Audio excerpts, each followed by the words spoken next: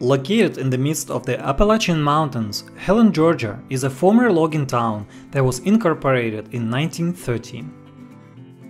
Before the 1970s, Helen began experiencing a gradual decline in its lumber industry and lost a portion of its already small population. To save the town, local authorities decided to transform Helen into a replica of a Bavarian alpine town in the 1970s after adopting a strict zoning code.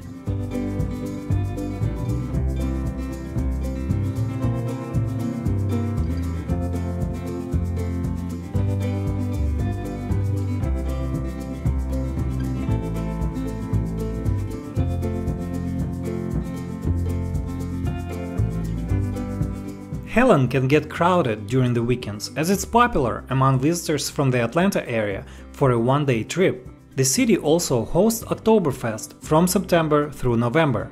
There's a beer hall right in the middle of Helen that gets very busy during the festival days.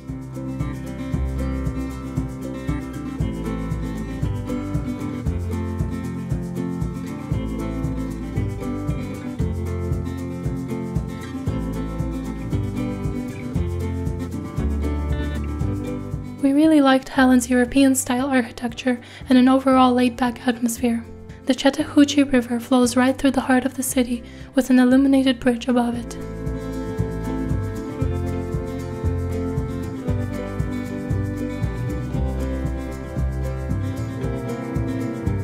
I hope you liked this video and it inspired you to visit Helen.